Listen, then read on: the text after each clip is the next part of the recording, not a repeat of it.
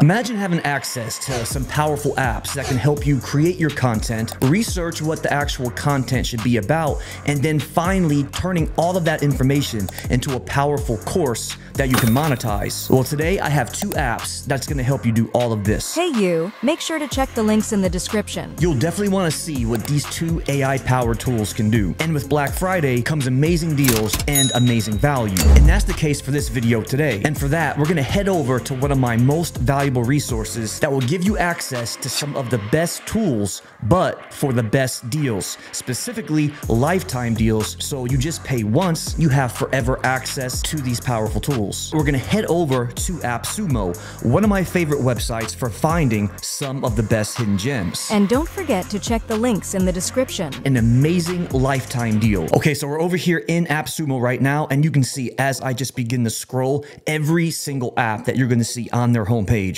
are gonna have these crazy lifetime deals. Okay, so this app I wanna talk about is called Neuron Writer. This is a very impressive deal. So right now it's gonna be 87% off. It's usually $750, but right now you can get it for $99. And so, like I said earlier, it's a one time payment, but for lifetime access. Neuron Writer is packed with AI powered research and writing tools to help you plan and improve your SEO by actually planning your content. So, it's going to help you come up with the best keywords, the best ideas, and my favorite part with the power of AI, it actually can write all of your content for you. And now we can come in here and click this button right here to start afresh with some new content content keywords, okay? So for this example, let's see what something I wanna rank for. Now, if you've ever been to my website, you know that I have thousands of prompts on here for anybody to use. There are gonna be a ton of prompts that you could select in these drop-down boxes. Every single blog post is also gonna have prompt after prompt after prompt for ChatGPT.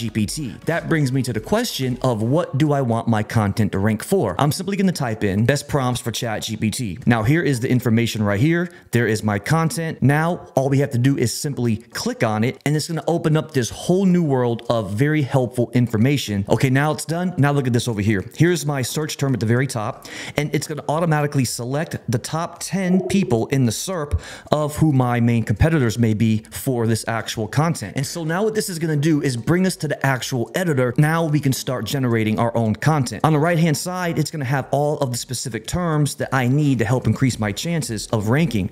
And at the very top right hand corner, this is going to be my score. You can see that highest of all selected competitors is 77, top one in Google is 74. So in order to get to the top 10 in Google, I just need to get my score somewhere close to around 50. So the first thing we want to do, again, let's just make this be all AI generated. If I click in the actual title, it says what sort of title should I create based off of my search term.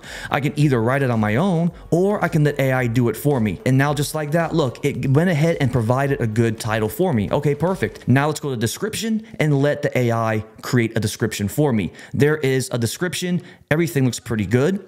And then on the right hand side, here is the metadata as well for all of my competitors. My score, just by that change alone, is now at a 17. Let's go ahead and generate our article outline based off of my title. It automatically populates. And now what I'll say is write for me. Now look at this. Just by this alone, this is the whole entire article outline. Look at that. Just by adding that alone, my score is now 52. Remember, I just need a 50 to get into the top 10. But nothing is better than the true test of time. So after uploading this content onto a blog post and then giving it a few days or weeks, that will really be the true test to see if this could indeed rank in the top 10. Okay, now let's go ahead and wrap this up, go back to AI writing, and now let's see if we can get the whole thing written for us. Let's go ahead and now generate a title. Okay, best prompts for ChatGPT, and I can select my tone of voice, and then suggested output length of words. Let's just go ahead and select write for me. We can go pretty deep on this and get very detailed. But right now, I just want to show you this as far as speed is concerned, so I can just show you the very basics on how to use this. Okay, now look, look at this. That is a good looking paragraph,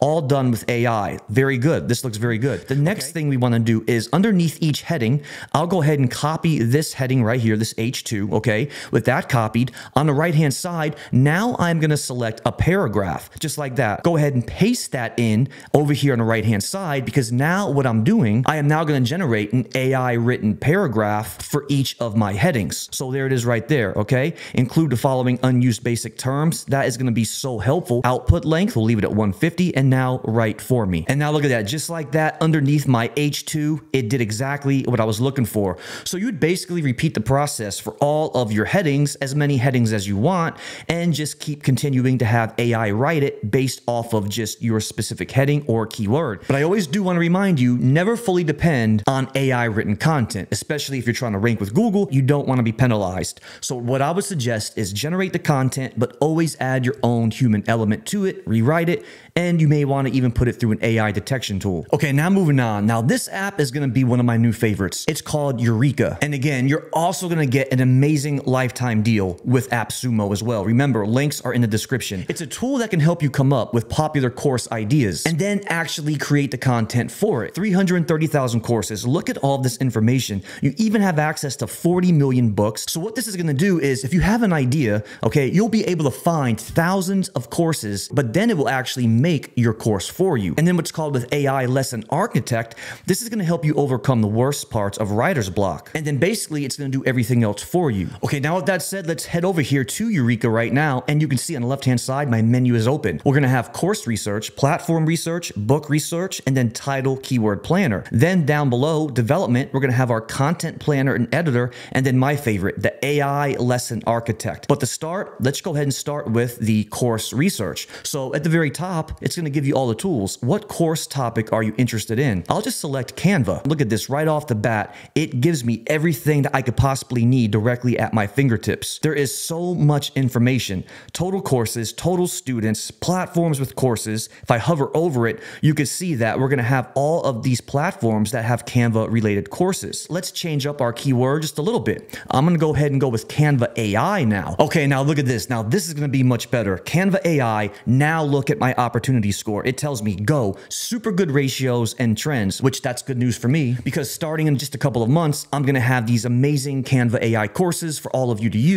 All right, so now that we're on to something, now let's go ahead and take it even further, okay? As I scroll down, now we can see all of our most important information. This is only a little bit over an hour. It was updated in June. How many students, rating, price, and then platform is going to be Udemy. So as we scroll down, we can see all of the different courses right here, okay? Also, all of the different price points, which is going to be incredibly helpful. I can also select C related topics, and if I hover over it, I can see we have Magic Studio, more related topics, and the top search trends based on timeline. If I wanted to check out this course, I can actually click on it. It's then going to open up this window right here, and now we can see a lot more details about it the reviews, the instructor, and the sales page, and everything that it consists of. I can even select AI gap analysis, select this, and what this is going to do is based on the given course outline, it's going to show me what's missing and what could be included to enhance the course on this topic. Now, on the left hand side again, let's go ahead and select book research. What book topic are you interested in? Let's just go ahead and put in AI. Now it's going to show me all of these popular AI related books, and I even get a little bit of a preview on the right hand side. As I scroll, I can read through some of it to see if I actually like it. Let's go back down to the left hand side on the column and now select title keyword planner.